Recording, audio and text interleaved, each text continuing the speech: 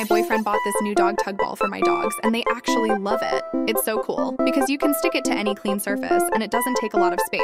Wow. And you can also encourage your dog to it by putting some snacks inside so he will never be bored. Huh. And the last feature that I love it for is that it really helps me with my dog's unlimited energy and finally calms him down.